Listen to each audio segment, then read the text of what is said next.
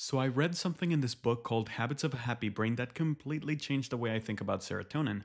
One of the biggest ways serotonin gets released is when you feel respected or appreciated by someone you admire or respect. It's not the same as getting a random compliment from a stranger, it means more when it comes from someone you actually care about. Now, this is different from oxytocin. Oxytocin shows up more when there's love, touch, or bonding, like hugging someone or holding a baby.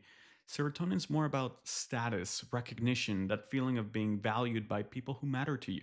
And sure, it might sound like you just have to wait around for someone to respect you, but that's not really true either, because while you can't force it, you can create the conditions for it. When you're genuinely kind to people, not to people please, but just kind, you're often opening the door for those meaningful mutual moments of appreciation, and that's when serotonin starts to build on both sides. And here's one thing you can control at the end of each day, write down your most genuine positive interaction.